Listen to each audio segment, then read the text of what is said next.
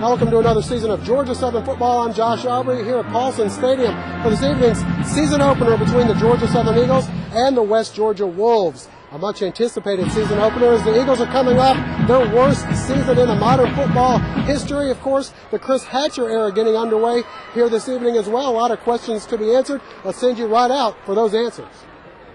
An emotional start to the game as the bronze bust of the legendary Erk Russell was revealed prior to the game.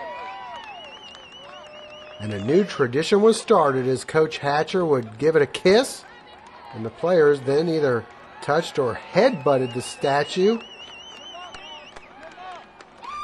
Onto the game and two questions answered early. First, Jayson Foster was your starting quarterback, and second, maybe he should have played a little more last year. Foster on the second play from scrimmage goes 54 yards for the score, and yes, the extra point was good. 7 0 Eagles. West Georgia responds as James Kinnebrew goes in from four yards out, and we're tied at seven all. The Eagle defense getting on track. Jonathan Loving with the hit for a loss. The Wolves back to punt, and this one blocked by Tim Camp. The Eagles take over in excellent field position. Unfortunately, their drive would stall and they'd have to settle for a 21 yard field goal attempt by Jesse Hartley. It's up and good, and they'd retake the lead 10 to 7. The Wolves storm right back, though, scoring two touchdowns in the second quarter, including this 11 yard run by Keats Baldwin, and the Eagles go to the half trailing 21 10. Halftime saw another tribute to Erk Russell, as his name was enshrined along with his three national championship seasons.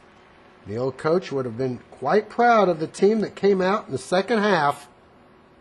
After a drive that ended in a fumble, Jayson Foster moving the team downfield, picking up a first down, and then he throws it over to Raja Andrews. Foster with 124 yards passing.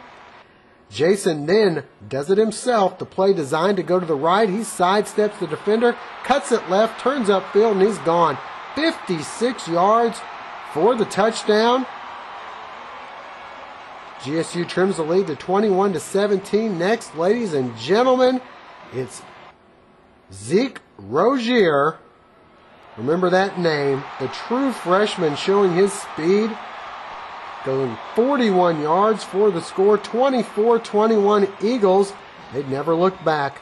Onto the fourth quarter.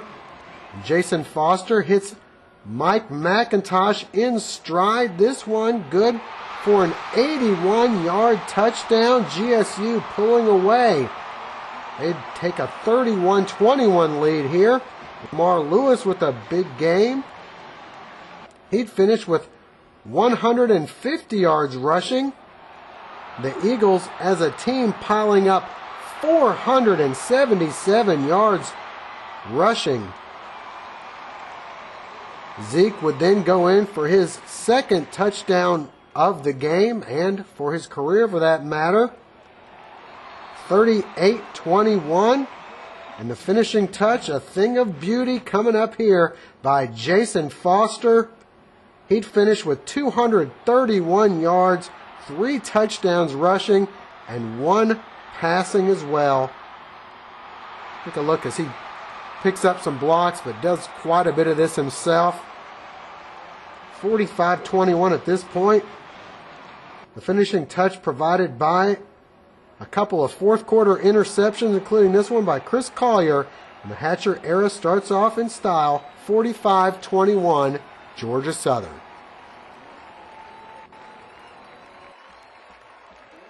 There's two different teams that showed up. The first half was completely different from the second half. We came out and just did our job the second half, and putting up a goose egg in the second half feels great. Anything in particular in the locker room that you guys talked about or may have fired you out? Coach Andrews, Coach Andrews got in there and yelled at us for a little bit, and uh, it was good yelling. It wasn't, there was nothing negative. It was all positive, and just he was hammering to us that we were going to win this game. Our scheme was good, and all we had to do was make plays. We came in at halftime, told them we weren't going to make any adjustments. Uh, that what we did was solid. They just got to believe in it, and came out the second half. You know, we challenged them. Uh, you know, a lot of them we challenged their manhood. Basically, told them that uh, that we wanted to shut them out on the second half. I think the kids did a great job of responding. Came out and played ball a lot better in the second half. It's very important to walk out and win. You know, first day we've been practicing for 30 days for, you know without a game. Uh, West Georgia's already played, so kind of had a little leg up on us on that. So we had to come back and get back on track and come out here to win. You know, we, we played well there. Um, you know, at certain times of the first half, we just couldn't get any rhythm and consistency going. Second half, we didn't really change much. Our guys just they started executing better and, and playing the kind of football that I knew they were capable of playing. Personally, a pretty emotional uh, way to start the game there with the uh, unveiling of Erk Russell. Yeah, it, wa- it was a it was a really good evening for us. I'll tell you, the most emotional we probably got is when we pulled up on the buses and, and there was such a, a huge crowd of people there waiting for us and, and, and supporting the football team, and that always gets your boys fired up. And hopefully now, after coming from behind, these guys are like me; they always believe they're going to win. And um, if we can keep that attitude instilled in them, we heck, who knows, we may have a special season.